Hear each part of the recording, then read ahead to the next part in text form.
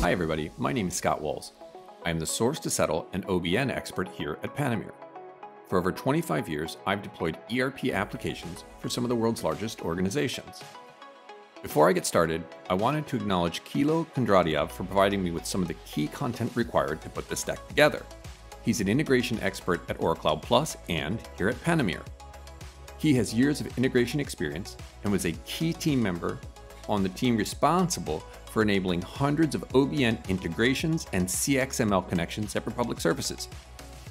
You are watching a buyer-supplier integration video. In this video, I provide an overview of Oracle Cloud's Domain Value Mapping, or DVM, functionality. This application is related to the procurement functional area within Oracle Cloud. Click the link above to watch a quick video explaining Oracle Cloud's procurement functional area. Okay, I'll use the following six slides to explain this functionality. What is a DVM? Who uses DVMs? How are DVMs used? When are DVMs used? Where are DVM used for the supplier? And where are DVMs used in the message or the invoice coming back? But best of all, I'm going to do this in less than five minutes. So let's get started. What is a domain value map or DVM?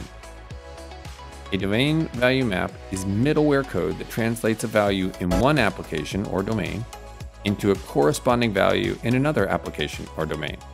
For example, one application calls the UOM DZN, while its trading partner calls it DZ.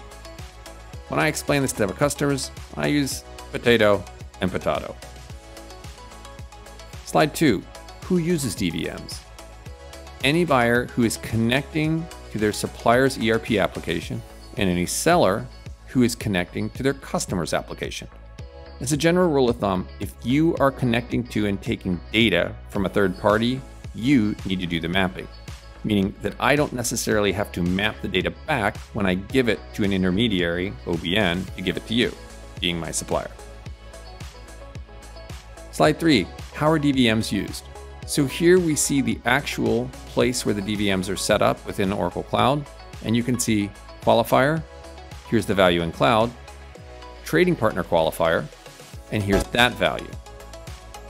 Slide 4, when are DVMs used? So DVMs are really only used in one spot, but they're called another spot. Let me explain.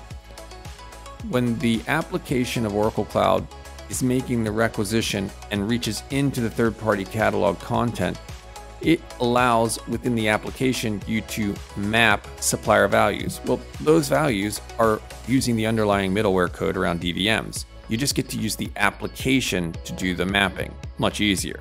Now, when you get on the back end, really not as much the PO outbound because it's not typical that you see those mapped, but on the right side of the screen where you see the optional DVM mapping around the invoice coming into Oracle Cloud, there you're going to do mapping and you have to use the method we just showed, which is the more middleware focused method.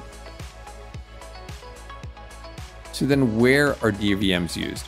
Well, if you created a DVM, something needs to say to that supplier, here, go use that DVM. So you need to set the DVM up on the trading partner for the supplier. That goes there. Then where are the DVMs used in the message? So this is an example of some custom code that was created around the message coming back for an invoice. This, along with that supplier invocation that says, hey, go use this DVM, this tells it to use this message to take the value and translate it. Okay, this is the end of the video presentation, but hopefully it's just the beginning of your Panameer journey. Did you know that there are thousands of free videos just like this one on Panameer.com and hundreds more on Panameer's YouTube channel? In fact, if you're watching this on YouTube, please don't forget to click the like button and subscribe to our channel. Remember, Better content, better skills, better income, better life. Panameer wants to help you get 1% better every day. Thank you for watching and have a great day.